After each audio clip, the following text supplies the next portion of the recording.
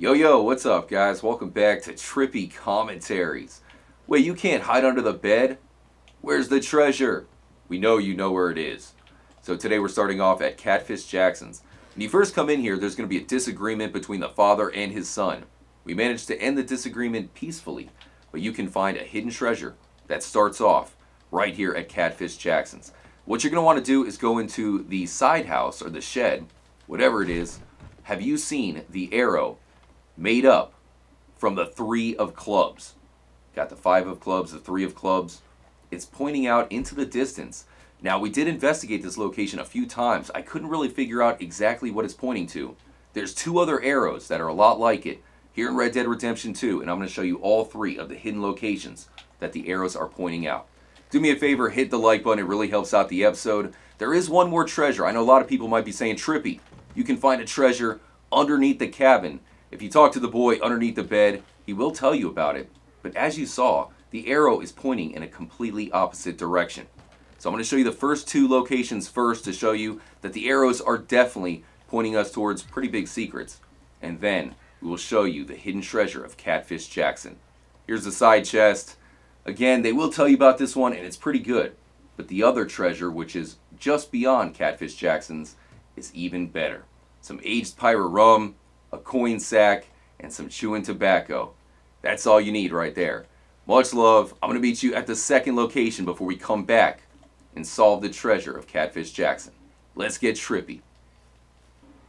You can find another arrow just like the one I showed you in this cabin, or at least what used to be a cabin, not too far away from Dewberry Creek. So you're going to want to fall into the basement. This is actually one of the more mysterious locations in the entire game. I'm going to show you why in a moment. There's a few things you can collect. Open up the wardrobe. Sure we'll find some tonics, some valerian root. But if you find the arrow, which should be right here, you can see this one is made from matchsticks next to a cigarette card. So if you follow the arrow, it's going to take you to a hidden stash, which is right here. So you really wouldn't notice it. You definitely need to find that arrow. So you go to a random wall to find 50 bucks. Not too bad. I wish I could find 50 bucks. One more thing I wanted to point out, and again, you can see how these arrows are so important.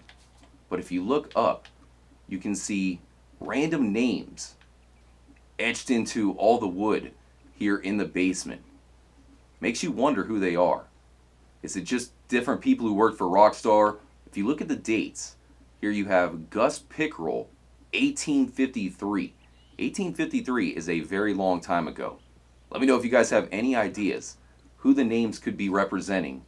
Right here, again, not too far away from Dewberry Creek, the old trail rise. So that's the second arrow. I'm going to show off one more before we head back to Catfish Jackson's.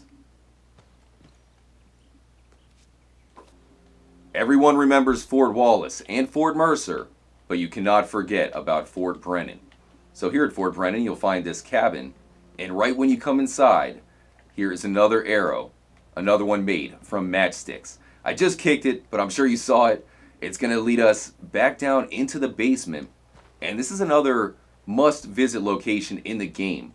Seems to be a Civil War relic. You can find the knife, a hat.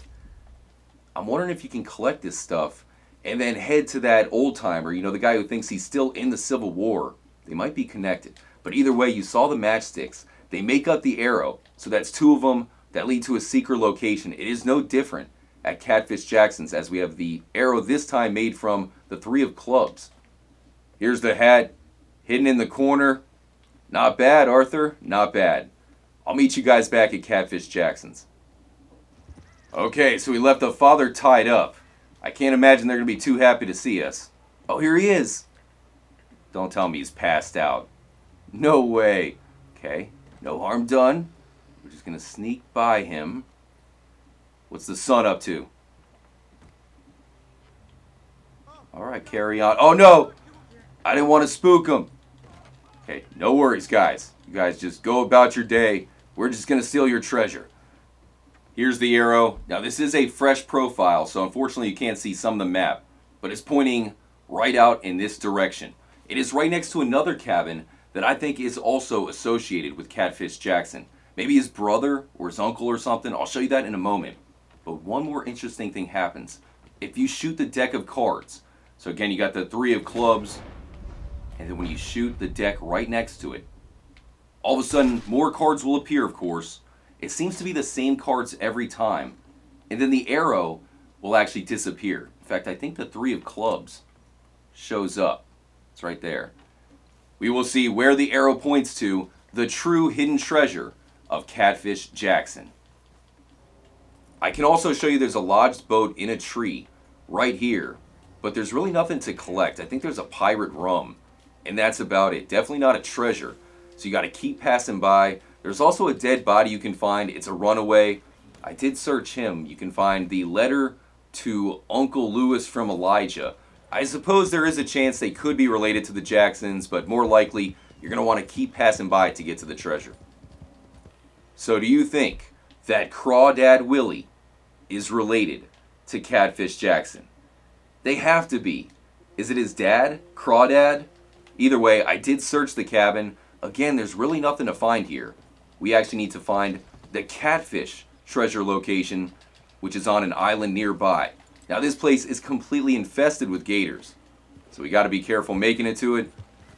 But there, you're going to find a treasure that you're probably going to want to get very early on as you head into Saint Denis. Don't mind us. We're just going to cross.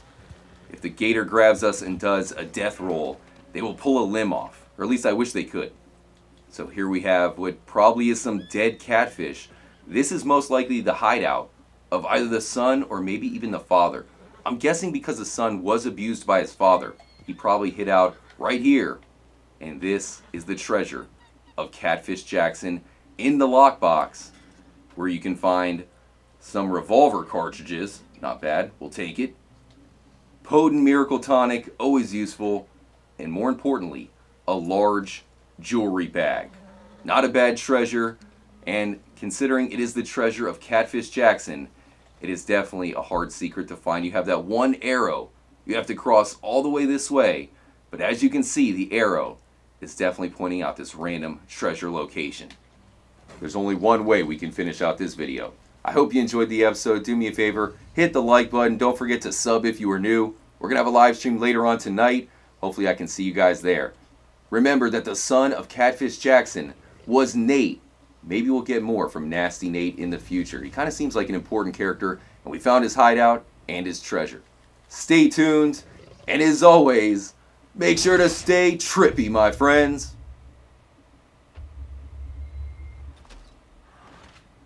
Y'all come back now, you hear?